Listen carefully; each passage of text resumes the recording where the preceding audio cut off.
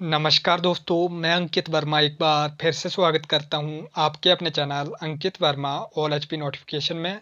तो दोस्तों, जैसा कि आप थंबनेल पे देख ही चुके हैं कि आज 17 जून 2020 की अभी की जो ताज़ा खबर है कि हिमाचल प्रदेश में जो है अभी अभी जो चार नए कोरोना मरीज़ आए हैं, जाने हिमाचल की स्थिति। तो कहाँ कहाँ के ये चार कोरोना पॉजिटिव मरीज़ जो हैं, आए हैं, इसकी पूरी जानकारी मैं आपको इस वीडियो में देने वाला हूँ।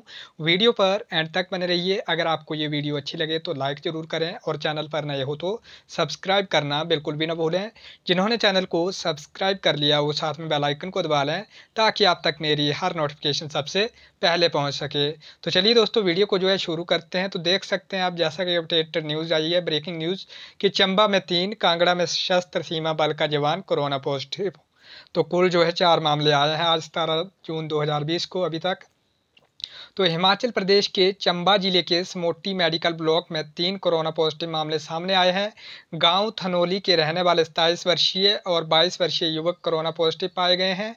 चुवाड़ी का तीस वर्षीय व्यक्ति कोरोना संक्रमित पाया गया है।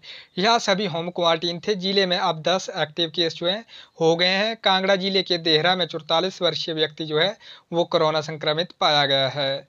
इसे धर्मशाला अस्पताल में जो है, वो शिफ्ट किया जा रहा है। उक्त संक्रमित सशस्त्र सीमा बल का जवान है, जो एमएचए दिल्ली में तैनात है। कुछ दिन पहले ही घर लौटा था। तो एक जो है मामला कांगड़ा ज़िले का आया है और तीन मामले जो है अभी तक चंबा ज़िले के आए हैं, जिससे चंबा ज़िले में अब एक्टिव मामले दस हो चुके हैं। तो ये थी दोस्तों अभी की ताज़ा खबर ब्रेकिंग न्यूज़ अगर वीडियो अच्छी लगी हो तो लाइक ज़रूर करें और दोस्तों के साथ शेयर ज़रूर करें ताकि उन तक ये वीडियो पहुँच सके।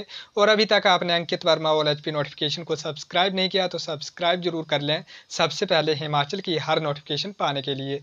धन्यवाद। जय हिंद। जय भारत।